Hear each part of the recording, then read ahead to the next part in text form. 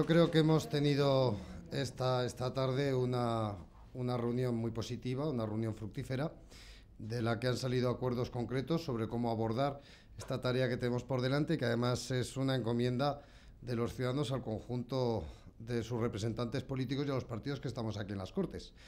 Y en ese sentido creo que de, la reunión, como decía, han salido soluciones, propuestas concretas y, acuerdos también eh, muy concretos. Eh, en particular, hemos determinado cuál va a ser el método de trabajo, hemos hablado de cuáles son los temas que vamos a abordar, hay además proyectos concretos puestos por el Gobierno ya encima de la mesa que por tanto van a ser objeto eh, de debate y espero que también sean objeto de acuerdo, porque esa es la voluntad que se ha manifestado dentro de la reunión.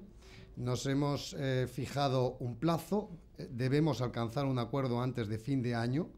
Yo creo que ese compromiso es importante para todos.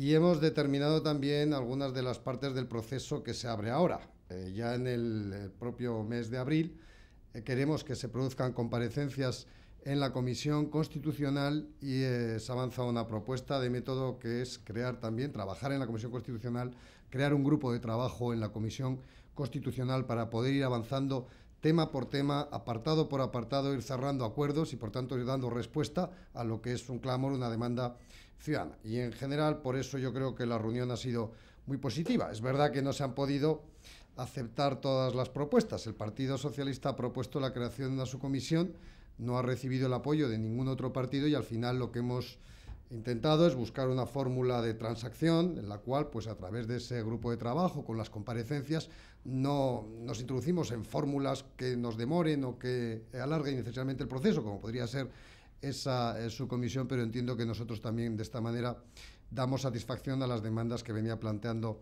el Partido Socialista. Por tanto, para el Partido Popular eh, se inicia ahora, yo entiendo, un trabajo en serio, un trabajo que tiene un método, que tiene unos objetivos concretos, que tiene un plazo, que está residenciado en el Parlamento y en el cual están comprometidos a trabajar todos los grupos políticos. Y nosotros vamos a poner todo lo que esté de nuestra mano en favorecer el acuerdo y en favorecer que podamos eh, dar a los ciudadanos lo que nos están pidiendo. Y es un pacto claro eh, y un pacto comprometido contra la corrupción y a favor del fortalecimiento de la democracia, de la regeneración de nuestro Estado, de, nuestro sistema de libertades. Ese es el compromiso, es la vocación.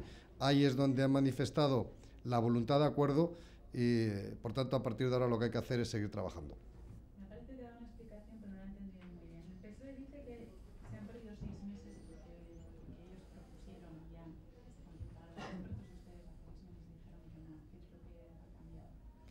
Bueno, yo no sé si el PSOE ha perdido el tiempo o ha perdido estos seis meses. Nosotros estos seis meses hemos estado trabajando y, de hecho, como decía, pues no pilla esto en barbecho, sino que ya hay unos proyectos de ley que están aquí, que trajo el Gobierno que están, en fin, que tienen que ser también tramitados y aprobados, unas medidas penales procesales, pero yo creo que hoy no es un día de controversias.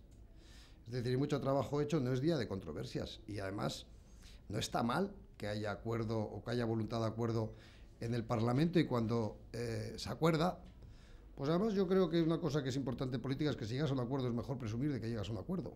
Eso es bueno, es positivo. Y hoy todos los grupos han estado, creo, a la altura de las circunstancias, lo hemos hecho y por eso salen resultados concretos. A partir de ahí, por tanto, no busquen en nosotros controversias, sino ánimo de, encuentro, eh, de acuerdo y de, en fin, dejar las pequeñas cosas para los pequeños asuntos. Pero este asunto es demasiado importante como para buscar el enfrentamiento y no, eh, y buscar, que es lo que tenemos que hacer, la posibilidad de un acuerdo, de un gran pacto antes de fin de año, que es lo que nos hemos propuesto. si me permite, hoy eh, algún segundo juez eh, de la Audiencia Nacional se, niega a cumplir la ley de justicia universal. No si puede valorar esto y si les preocupa el tema. Bueno, yo, yo ya he explicado y creo que es una cosa que se puede entender perfectamente. Los jueces, como todos los demás ciudadanos, tienen que cumplir las leyes y además los jueces las tienen que aplicar. ¿no? Por tanto, todos los jueces tienen que aplicar las leyes. Y si un juez considera que una ley no se aviene con el ordenamiento jurídico, no respetuosa con las normas eh, de la Constitución, lo que tiene que hacer es plantear una cuestión de inconstitucionalidad, pero un juez no, tiene la prerrogativa de no aplicar una ley. Eh, tiene la posibilidad, que no tienen otros ciudadanos, de plantear una cuestión de inconstitucionalidad, pero no en ningún caso puede arrogarse la prerrogativa de no aplicar las leyes. Eh, es una cosa verdaderamente sorprendente y yo espero que esa situación pues se corrija cuanto antes y que si un juez cualquiera ve que una ley incurre en vicio de inconstitucionalidad, siga el procedimiento, que eso es lo que se espera de un juez y que por tanto lo plantee en el lugar correspondiente, en quien vela por la constitucionalidad de las leyes e interpreta la, la Constitución, que es en nuestro ordenamiento jurídico el Tribunal Constitucional.